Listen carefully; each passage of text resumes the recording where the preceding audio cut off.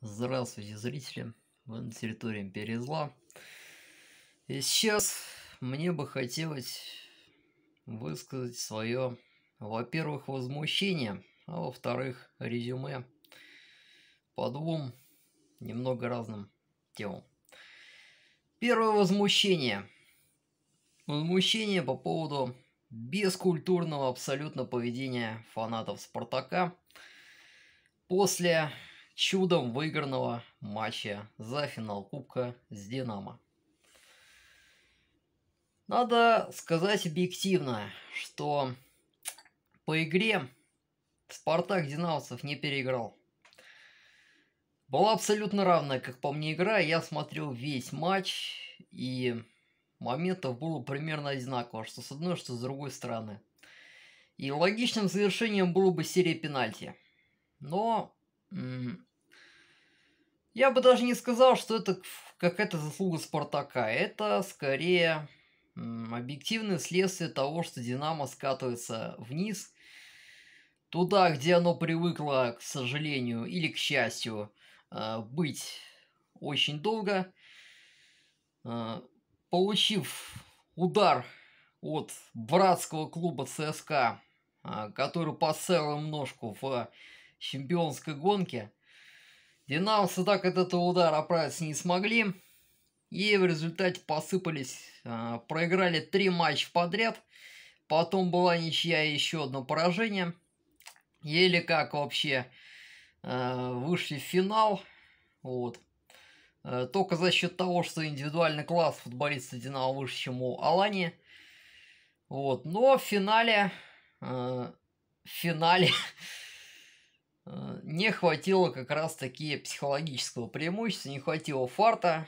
Э, преимущество даже не над Спартаком, а над самим собой. Если бы это был осенний Динамо, например, или близко к зимнему, то оно бы без сомнений сравняло счет даже в условиях многотысячного свиста болельщиков. Перевело бы игру в серию пенальти, а там фиг знает, что было бы. Это все-таки лотерея. Вот, но э, Спартак, короче, победил, э, Динамо проиграл, если честно сказать, самой себе. Э, Фомин слишком уж близко к сердцу воспринял последние неудачи Динамо и ебанул уж в перекладины. Ну и вот Спартачи на счастьях, на радостях э, сходили с ума от своей любимой Максим. Знаешь ли ты, весь стадион почти пел и сходил с ума, и каждый был готов там э, сорваться с этого, с трибун, подбежать, заобнимать, расцеловать, а может даже кое-что еще. Вышла динамовская певица Люся Чеботина, даже более популярная в последнее время, чем Максим. Что бы сделали любые другие фанаты? Дали бы ей нормально спеть. Да, не забил Фомин, да, Динамо проиграла. Но так бывает, э, и если уж э, на то пошло, то надо быть человечными. Надо как бы поддержать трудную минуту. Сказать, что да, мол, бывает неудачно, но бывает, и, и дальше все будет лучше.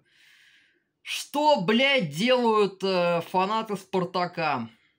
Освистывают, потом э, припираются в комментарии к официальному клипу этой самой чебосиной «Не нужно мне солнце Монако» э, на ютубе, начинают изливать свое говно. Э, я считаю, что это по-настоящему свинское поведение. С другой стороны, чего ожидать от свиней? Э, блять. Ну и, соответственно, резюме по поводу сезона Динамо. Я не понимаю, зачем...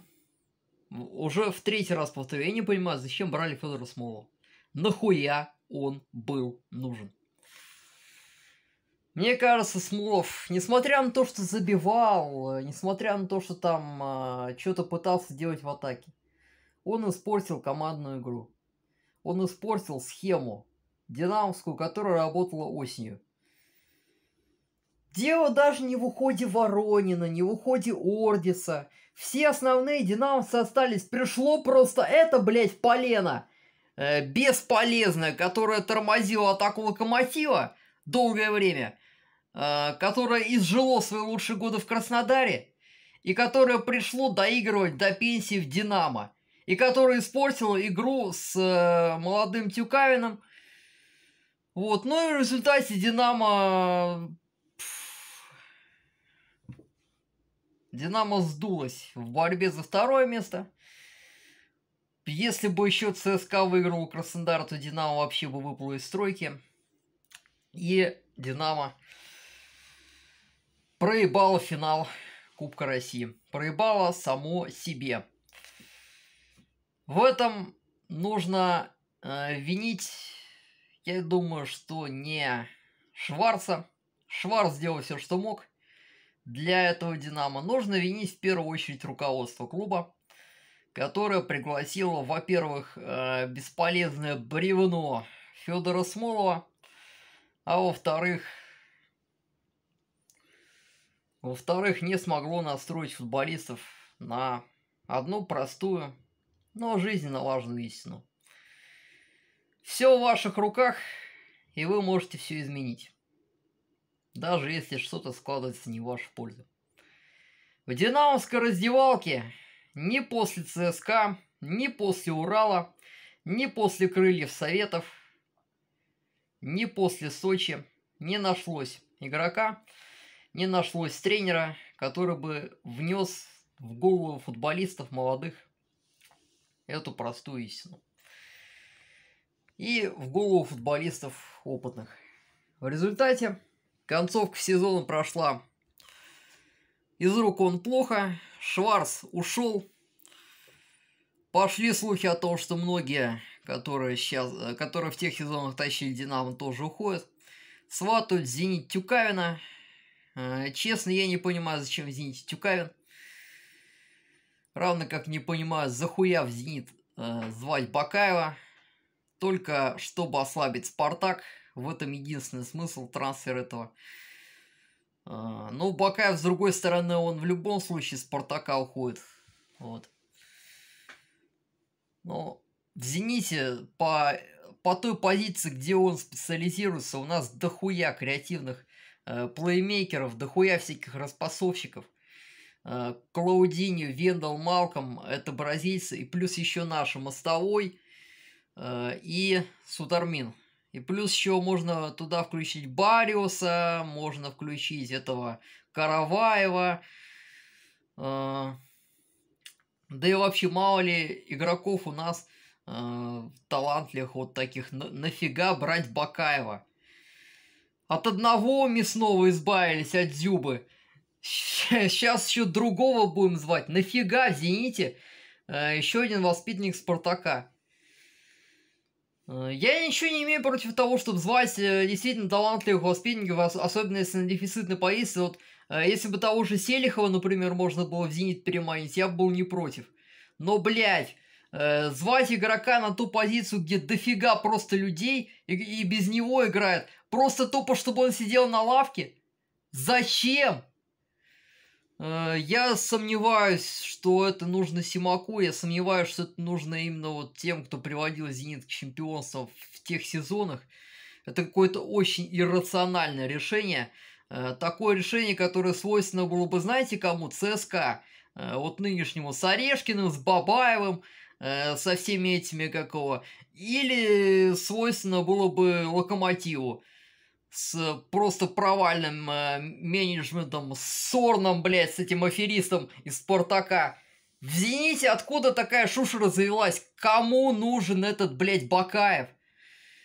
Ну, понятно, что Малком он хрустальный, что его травмируют часто, что вот, э, нужно резервист, но звать человека э, просто тупо, чтобы он сидел на лавке, блядь. Лучше бы Бакаеву перейти в тот же самый Краснодар – или в те же, блядь, крылья Советов, Самара. Пускай лучше он Самару развивает, чем в Зените будет тупо бабки получать. Ах. Ну, в общем, короче, фанам Спартака, антиреспект. В Суперкубке я очень надеюсь, что вы соснете, потому что вы свиньи, блядь. Свиньи не только потому, что вы болеете за свиньи, а потому что вы, блядь, э, под гнилые нахуй. Бесчеловечные вы. Вот лично я бы ни, ни на Щебосин, ни даже на вашу Максим, если бы э, Спартак проиграл э, в матче с Зенитом, я бы свистеть не стал. Ну, пойте на здоровье. Как бы... Но вы, блядь, вы настраиваете не только зенитовцев или там региональных, вы всех вообще людей своим бесчеловечным отношением настраиваете против себя. Всех людей, у которых э, работает вообще система хорошо и плохо.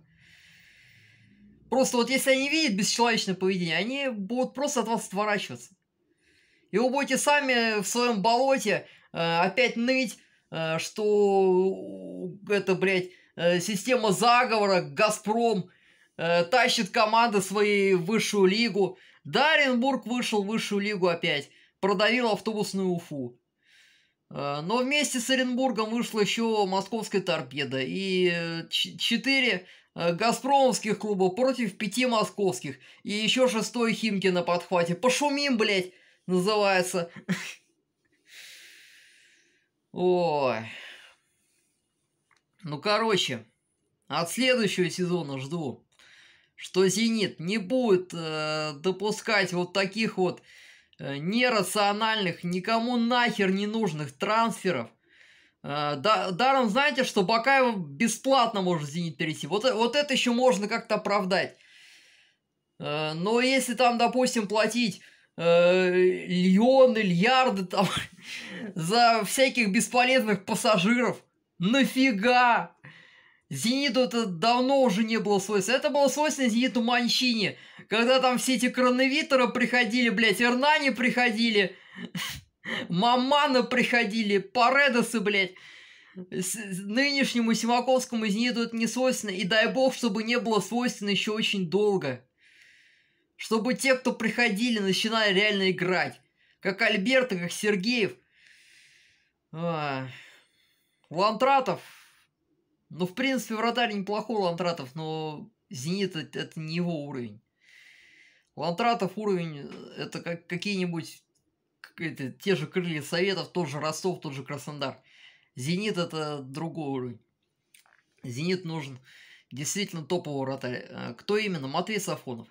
И все. Больше у нас в России топовых вратарей нет.